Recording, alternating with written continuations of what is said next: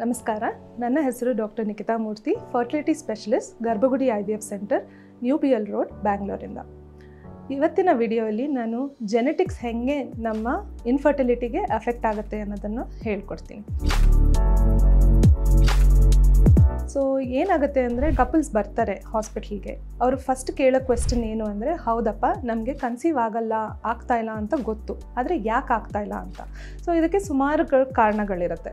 ಒಂದು health problems ಆಗಿರ್ಬೋದು, ಅಥವಾ ಚಿಕ್ಕ ಪುಟ್ಟ ಹಾರ್ಮೋನಲ್ ಇಂಬ್ಯಾಲೆನ್ಸಸ್ ಇರ್ಬೋದು, ಅಥವಾ ಮೇಯ್ನಾಗಿ ಜೆನೆಟಿಕ್ಸ್ ಕೂಡ ಅದರಲ್ಲಿ ಒಂದು ಪಾರ್ಟ್ ಆಗಿರುತ್ತೆ. ಸೊ ಜೆನೆಟಿಕ್ ಪ್ರಾಬ್ಲಮ್ಸ್ ಅಂದರೆ ಏನು? ಈಗ ಎಲ್ಲ ಮನುಷ್ಯರಲ್ಲಿ ನಲವತ್ತಾರು ಕ್ರೋಮೊಸೋಮ್ ಅಂತ ಇರುತ್ತೆ. ಇಪ್ಪತ್ತ್ಮೂರು ತಾಯಿಯಿಂದ ಪಡ್ಕೊಂಡಿರ್ತೀವಿ ಇಪ್ಪತ್ತ್ಮೂರು ತಂದೆ ಅಂತ ಪಡ್ಕೊಂಡಿರ್ತೀವಿ. ಸೊ ಈ ಕ್ರೋಮೊಸೋಮ್ಸಲ್ಲಿ ಪಾರ್ಟಾಗಿ ಎಷ್ಟೊಂದು ಜೀನ್ಸ್ ಇರುತ್ತೆ. ಈ ಜೀನ್ಸಲ್ಲಿ ಡಿಫ್ರೆಂಟ್ ಡಿ ಎನ್ ಎ ಇರುತ್ತೆ. ಸೊ ಡಿ ಎನ್ ಎಗಳಾಗಲಿ ಜೀನಲ್ಲಾಗಲಿ ಅಥವಾ ಕ್ರೋಮೊಸೋಮಲ್ಲಿ ಏನೇ ಆಲ್ಟ್ರೇಷನ್ ಅಥವಾ ಪ್ರಾಬ್ಲಮ್ ಇದ್ರೂ ಅದು ಜೆನೆಟಿಕ್ ಪ್ರಾಬ್ಲಮ್ಸ್ ಆಗಿ ಕಂಡುಬರುತ್ತೆ. ಸೊ ಈ ಜೆನೆಟಿಕ್ ಪ್ರಾಬ್ಲಮ್ಸಿಂದ ಎಷ್ಟೊಂದು ಸಲ ಏನು ಸಿಂಪ್ಟಮ್ಸ್ ಇರಲ್ಲ, ಆದರೆ ಕನ್ಸೀವ್ ಆಗೋಕ್ಕೆ ತೊಂದರೆ ಆಗ್ತಿರುತ್ತೆ. ಕನ್ಸೀವ್ ಆದ್ರೂ ಮಿಸ್ಕ್ಯಾರೇಜ್ ಮತ್ತೆ ಮತ್ತೆ ಅಬಾರ್ಷನ್ ಆಗೋ ಚಾನ್ಸಸ್ ಕೂಡ ಇರುತ್ತೆ. ಸೊ ಹೆಣ್ಮಕ್ಳಲ್ಲಿ ಹೇಗೆ ಅಂದರೆ, ಇದು ಪಿ ಸಿ ಒ ಎಸ್ ಅಂತ ನೀವು ಕೇಳ್ಪಟ್ಟಿರ್ಬೋದು. ಎಂಡೋಮೆಟ್ರಿಯೋಸಿಸ್ ಅಥವಾ ಫೈಬ್ರಾಯ್ಡ್ ಪ್ರಾಬ್ಲಮ್ಮು ಇದೆಲ್ಲ ಕಾರಣ ಇನ್ನೂ ಸರಿಯಾಗಿ ಕ್ಲಿಯರ್ ಆಗಿ ಗೊತ್ತಿಲ್ಲ. ರಿಸರ್ಚಿಂದ ಏನು ಗೊತ್ತಿದೆ ಅಂದರೆ ಇದಕ್ಕೂ ಕೂಡ ಒಂದು ಜೆನೆಟಿಕ್ ಫ್ಯಾಕ್ಟರ್ ಇರ್ಬೋದು ಅಂತ. ಸೊ ಗೊತ್ತು ಅಲ್ಲಿ ನೋಡಿರ್ಬೋದು ನೀವು, ನಿಮ್ಮ ಓನ್ ಸಿಸ್ಟರ್ಸಲ್ಲಿ ಅಥವಾ ತಾಯಿಯಂದ್ರಲ್ಲಿ ಆಂಟಿಯಲ್ಲಿ ಈ ಥರ ಎಲ್ಲ ಪ್ರಾಬ್ಲಮ್ಸ್ ಇತ್ತು ಅಂದರೆ ನಿಮಗೂ ಕೂಡ ಇದು ಪ್ರಾಬ್ಲಮ್ ಆಗೋ ಸಾಧ್ಯತೆಗಳು ಇರುತ್ತೆ. ಸೊ ಹಾಗೆ ವೇರಿಯಸ್ ಪ್ರಾಬ್ಲಮ್ಸ್ ಇದೆ. ಒಂದು ಟರ್ನರ್ ಸಿಂಡ್ರೋಮ್ ಅಂತ ನಾವು ಹೇಳ್ತೀವಿ. ಸೊ ನಲ್ವತ್ತಾರು ಕ್ರೋಮೋಸೋಮ್ ಇರೋ ಬದಲು ಜಸ್ಟ್ ನಲ್ವತ್ತೈದು ಇರುತ್ತೆ. ಎಕ್ಸ್ ಕ್ರೋಮೋಸೋಮ್ ಅನ್ನೋದು ಅದು ಮಿಸ್ಸಿಂಗ್ ಇರುತ್ತೆ ಅಥವಾ ಏನಾದರೂ ಪ್ರಾಬ್ಲಮ್ ಇದ್ದರೂ ಕೂಡ ಎಗ್ ಡೆವಲಪ್ಮೆಂಟ್ ಸರಿಯಾಗಿ ಆಗೋದಿಲ್ಲ. ಸೊ ಹುಟ್ಟಿದಾಗೇ ಅವ್ರಿಗೆ ಎಗ್ ಕೌಂಟ್ ಅಂದರೆ ಮೊಟ್ಟೆ ಕೌಂಟು ಕಮ್ಮಿ ಇರುತ್ತೆ.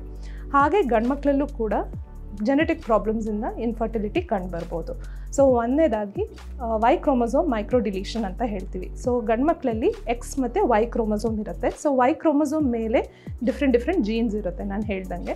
ಸೊ ಈ ಜೀನ್ಸಲ್ಲಿ ಏನಾದರೂ ಪ್ರಾಬ್ಲಮ್ ಇತ್ತು ಅಂದರೆ ಅವ್ರ ವೀರಾಣು ಕೌಂಟು ಕ್ವಾಲಿಟಿ ಕಮ್ಮಿ ಇರ್ಬೋದು ಅಥವಾ ಒಬ್ಬೊಬ್ಬರಲ್ಲಿ ಇರೋದೇ ಇಲ್ಲ. ಸೊ ಇದನ್ನೆಲ್ಲ ನಾವು ಟೆಸ್ಟ್ ಮಾಡಿಕೊಂಡು ಮುಂದೆ ಹೋಗಬೇಕಾಗತ್ತೆ. ಸೊ ಈ ಜೆನೆಟಿಕ್ ಪ್ರಾಬ್ಲಮ್ಸ್ ಇರೋದು ನಮಗೆ ಹೇಗೆ ಗೊತ್ತಾಗುತ್ತೆ? ಡಾಕ್ಟರ್ ಹತ್ರ ಬಂದಾಗ ಡೀಟೇಲ್ ಆಗಿ ನಿಮ್ಮದು ಹಿಸ್ಟ್ರಿ ತೊಗೊತಾರೆ ಏನೇನು ಪ್ರಾಬ್ಲಮ್ ಇದೆ ಅಂತ ಕೇಳ್ತಾರೆ. ಅದಾದಮೇಲೆ ಹಾರ್ಮೋನ್ ಟೆಸ್ಟು ಒಂದಿಷ್ಟಿರುತ್ತೆ. ಹಸ್ಬೆಂಡ್ಗಾಗಲಿ ವೈಫಿಗಾಗಲಿ ಹಸ್ಬೆಂಡಿಗೂ ಕೂಡ ಸ್ಪರ್ಮ್ ಟೆಸ್ಟ್ ಮಾಡ್ತೀವಿ.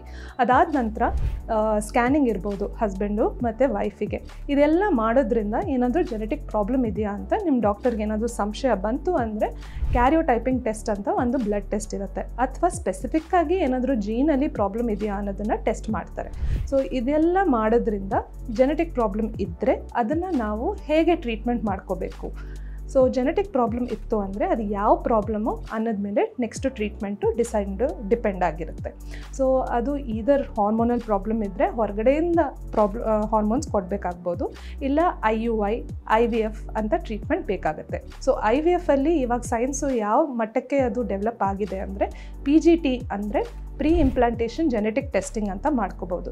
ಸೊ ಭ್ರೂಣ ಬಂದಾಗ, ಮೊಟ್ಟೆ ಮತ್ತು ವೀರಾಣು ಸೇರಿದ ಮೇಲೆ ನಾವು ಲ್ಯಾಬಲ್ಲಿ ಅದನ್ನು ಭ್ರೂಣ ಮಾಡ್ತೀವಿ ಐ ವಿ ಎಫ್ ಮುಖಾಂತರ ಟ್ರೀಟ್ಮೆಂಟ್ ತೊಗೋಬೇಕಾದ್ರೆ. ಸೊ ಈ ಭ್ರೂಣದ ಮೇಲೆ ಟೆಸ್ಟಿಂಗ್ ಮಾಡಿ, ಅದು ಯಾವ ಭ್ರೂಣ ಮೇಲೆ ಜೆನೆಟಿಕ್ ಪ್ರಾಬ್ಲಮ್ ಇಲ್ವೋ ಅಂಥ ಭ್ರೂಣ ಮಾತ್ರ ಗರ್ಭಕೋಶ ಒಳಗಡೆ ಹಾಕೋ ಥರ ಟ್ರೀಟ್ಮೆಂಟ್ ಕೂಡ ಇದೆ. ಸೊ ಈ ಎಲ್ಲ ಏನಾದರೂ ಬೇಕು ಅಂದರೆ ಟ್ರೀಟ್ಮೆಂಟು ಫಸ್ಟು ನಿಮ್ಮ ಡಾಕ್ಟರ್ ಹತ್ರ ಡಿಸ್ಕಸ್ ಮಾಡಬೇಕಾಗುತ್ತೆ. ಇನ್ನೊಂದು ಜೆನೆಟಿಕ್ ಕೌನ್ಸಿಲರ್ಸ್ ಅನ್ನೋರು ನಿಮಗೆ ಹೆಲ್ಪ್ ಮಾಡ್ತಾರೆ. ಸೊ ಎಲ್ಲರ ಜೊತೆ ಡಿಸ್ಕಷನ್ ಮಾಡಿ, ಯಾವ ಥರ ಟ್ರೀಟ್ಮೆಂಟ್ ಬೆಸ್ಟು ಹಾಗೆ ಯಾವ ಥರ ಟ್ರೀಟ್ಮೆಂಟ್ ಮಾಡೋದ್ರಿಂದ ನಿಮ್ಮ ಮಕ್ಕಳಿಗೆ ಈ ಜೆನೆಟಿಕ್ ಪ್ರಾಬ್ಲಮ್ ಹರಡಬಾರ್ದು ಅನ್ನೋದನ್ನು ಕೂಡ ಅದು ಡಿಸ್ಕಸ್ ಮಾಡಿ ಟ್ರೀಟ್ಮೆಂಟ್ ತೊಗೋಬೇಕಾಗ್ಬೋದು. Thank you